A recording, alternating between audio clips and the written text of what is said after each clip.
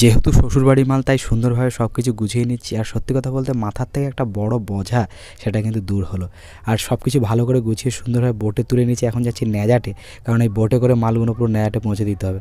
মানে শ্বশুরবাড়ির মাল মানে নিজেরই মাল। আর এতটাই ব্যস্ত জামা পরার টাইম পাইনি, তাই বোটে জামা পরে নিচ্ছি। আর রাস্তায় আসার সময় একটা বড় গ্লাস কাপ দেখে পছন্দ হয়ে গেছিল, তাই গ্লাস কাপটা বাড়ি থেকে নিয়ে চলে এসেছি। আজকে দুপুরে জম্পেশ করে খাওয়া হবে। সুপ্রভাত আজকে একটা নতুন ভিডিওতে আপনাদের সবাইকে অনেক স্বাগতম। ফাইনালি অনেক বড় একটা টেনশন মাথা থেকে দূর হলো। মানে বাবুর ষষ্ঠী পুজোর কাজটা উদ্ধার হয়ে একটা বড় টেনশন কিন্তু ছিল মাথায়। সেই টেনশনটা কিন্তু কমে গেল। এখনও টেনশন পুরোপুরি যায়নি। তার কারণ বাবুর ষষ্ঠী পুজোর যে প্যান্ডেল আনা হয়েছিল ওর মামার বাড়ির থেকে, সেই প্যান্ডেলগুলো যতক্ষণ না তার মামার বাড়িতে রিটার্ন করা হবে, ততক্ষণ মাথায় একটা টেনশন থাকবে। আজকেই মোটামুটি প্যান্ডেলগুলো সব খুলে ওর মামার বাড়িতে পাঠিয়ে দেবো কালকে সকাল। আর এখান দেখতে পাচ্ছেন বৌদি সকাল সকালে কিন্তু রান্না করছে বড় একটা কড়াই। অ্যাকচুয়ালি কালকে ষষ্ঠী পুজোর জন্য যে মাংস আনা হয়েছিল, সেই মাংসের ছাট মানে গিলে মেঠে, ঠ্যাংরি, এগুলো ইত্যাদি সব বেঁচেছিল সেইগুলো কালকে পরিষ্কার করে রাখা হয়েছিল। সেইগুলোই আজকে রান্না করা হয় জানি হয়তো অনেকের এটা ভালো লাগে না, অনেকে এটা খায় না, কিন্তু আমাদের গরিবের কাছে এটাই হচ্ছে অমৃত। অ্যাকচুয়ালি আমরা খুব পছন্দ করি এগুলো খেতে। তো যার জন্যই কালকে সুন্দরভাবে রাখা হয়েছিল, আজকে খাওয়া হচ্ছে। অ্যাকচুয়ালি কিছুক্ষণ পরে প্যান্ডেল খুলতে লোকজন আসবে, তো তারাও আসবে, তারাও কিন্তু খাবে, ঠিক আছে? তো যার জন্য বড় কড়াইতে করে রান্না করা হচ্ছে যাতে সবাই মিলে আজকে দুপুরে খাওয়া দাওয়া ভালোভাবে করতে পারি। আর এদিকে বলতে বলতে টাইম হয়ে গেছে প্যান্ডেল খোলার। অ্যাকচুয়ালি আমার শ্বশুরবাড়ি থেকে দু তিনজন এসছে। এখন আমি ওদের সাথে মিলে প্যান্ডেল খুলবো। অলরেডি দেখতে পাচ্ছেন আমাদের উপরে যে তিরফল ছিল, সেই তিরফল কিন্তু খোলা হয়ে গেছে। আর ওরা তিরফল ভাঁজ করছে।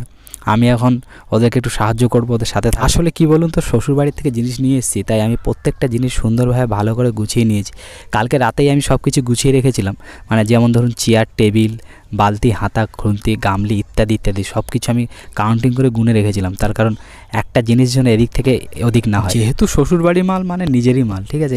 শ্বশুরবাড়ির জিনিস ক্ষতি হওয়া মানে আমারও ক্ষতি হওয়া। তো সেই জন্য আর কি একটু দায়িত্ব নিয়ে গুছিয়ে নিয়েছিলাম। আর এখন কাজ করছি আমরা, ওরা বলছে কাজ করতে চুপচাপ ভালো লাগছে না, তাই একটু জেবিএলটাও খাটিয়ে নিয়েছি। কালকে ব্লগটা শুরু করে শেষ করতে পারিনি, আজকে ব্লগটা কন্টিনিউ করছি, এই দেখো কোটে করে ড্রেস পরতে হচ্ছে। অ্যাকচুয়ালি সকাল সকাল কী হয়েছে, আমাদের বট চলে এসেছিল মানে মাল শ্বশুরবাড়ি নিয়ে যেতে হবে, তাই বট চলে এসেছিল। তাড়াতাড়ি করে লোড করেছি, আর মানে জোয়ার আর কি নেমে যাচ্ছিল বলে তাড়াতাড়ি করে আবার জামা টামা নিয়ে এইভাবে বোটে চলে আসতে হলো। অ্যাকচুয়ালি পড়ারও টাইম পাইনি হ্যাঁ এত ব্যস্ত এই বোটটা একটু দেখে দাও মামু চারদিকে আর সব লোড থেকে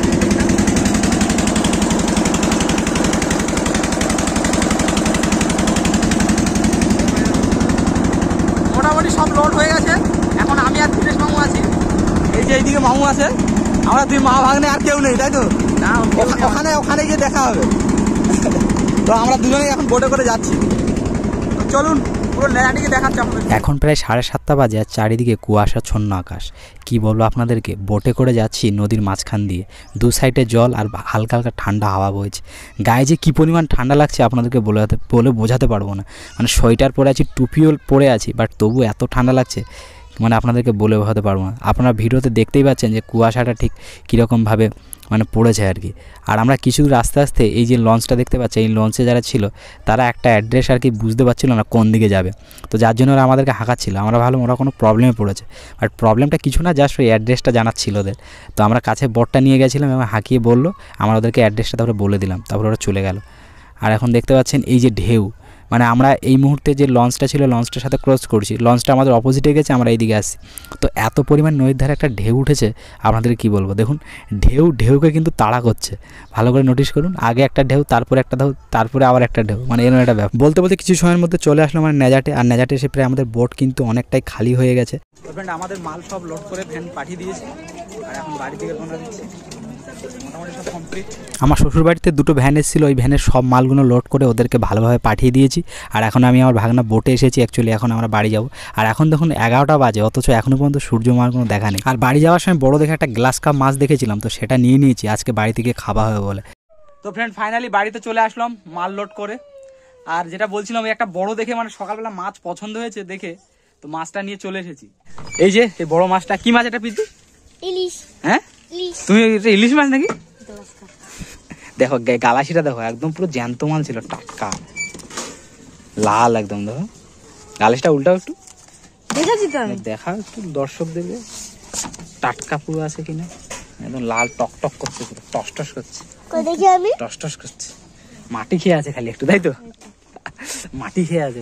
না জ্যান্ত ছিল যখন নেই তো মাছ হয়। যখন কিনি তখন হাপুস হাপুস ছিল বুঝলে? এবার তাহলে ওটা কি মাছ? ইলিশ। ইলিশ? তুই চিনিস ইলিশ মাছ?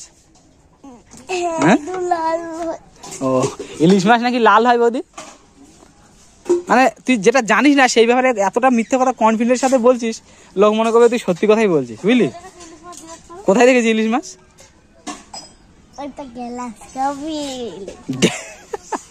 এটা আবার কি ধরনের মাছ? গ্যালাস ইলিশ? কি দিয়ে রান্না করবা? শুধু আলু দিয়ে করো টমেটোর আলু দিয়ে।